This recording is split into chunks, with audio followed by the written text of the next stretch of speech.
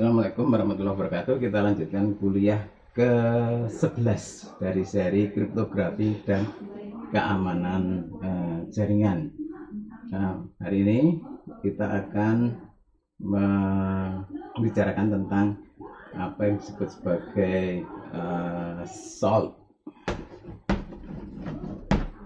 pada sistem penyimpanan eh, password dalam bentuk hash. Jadi kalau kita punya ini kuliahnya pendek saja. Jadi kalau kita punya tabel yang sudah kita bicarakan sebelumnya, ini user ID, ini password.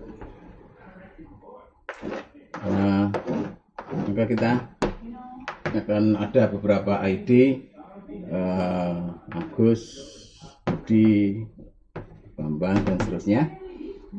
Nah, eh, biasanya seperti yang kita bicarakan di kuliah-kuliah sebelumnya bahwa nah, password tidak disimpan dalam bentuk plain text tapi dalam bentuk uh, digestnya.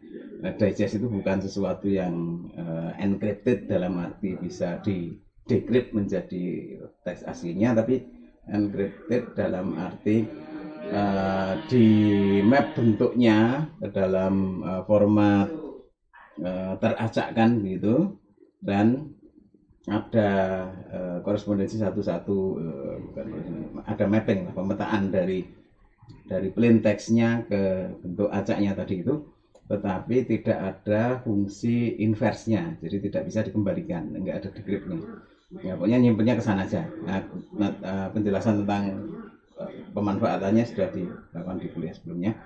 Tapi kita akan melihat ada salah satu uh, hal yang barangkali barangkali uh, kita bisa manfaatkan untuk meningkatkan uh, level keamanannya.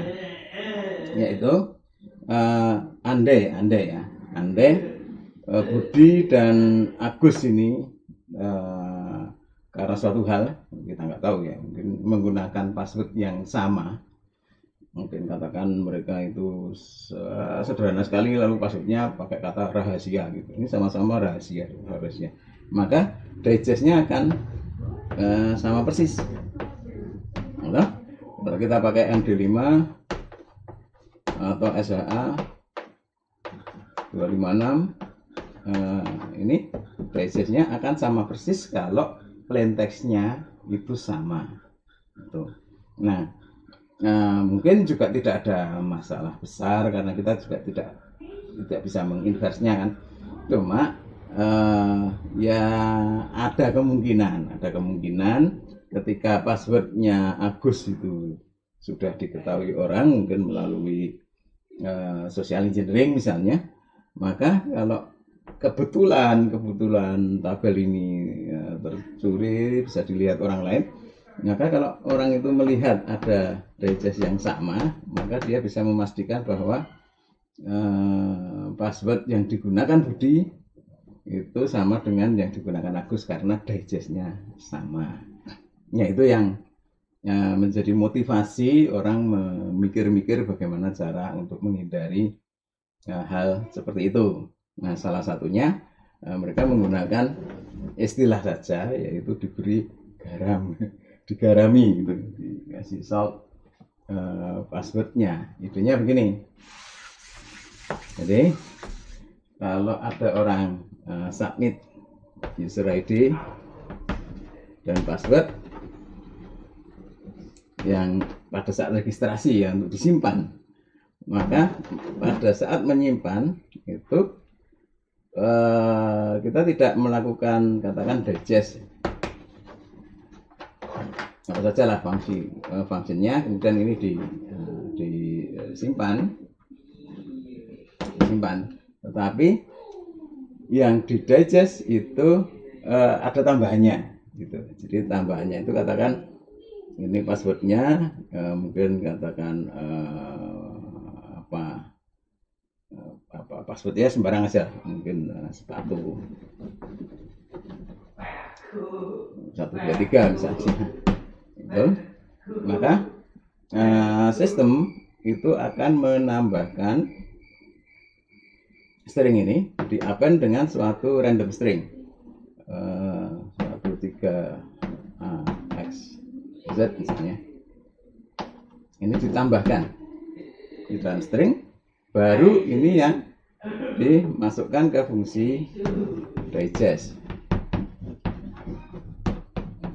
Lalu didapatlah bentuk digest hash dari uh, katakan password yang dimasukkan user dan tambahan random string ke suatu uh, hasil uh, digest tertentu. Nah, yang disimpan yang disimpan ke tabel tadi itu tabel user ID password yang disimpan di sini adalah uh, tam, uh, apa, hasil penambahan dari tadi ekstra string yang ditambahkan ke password ini ke uh, hasil digest dari keduanya. Jadi ini nanti akan menjadi katakan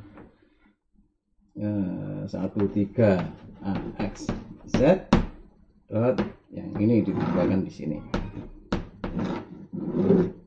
Nah, kemudian secara keseluruhan inilah yang disimpan. Nah, dengan demikian, nanti kalau seandainya ada lebih dari satu user menggunakan password yang sama, maka simpenannya akan berbeda. Gitu. Karena um, dua password tadi yang yang mungkin passwordnya itu sama, itu diambil digestnya, di hash dengan uh, ekstra string yang berbeda.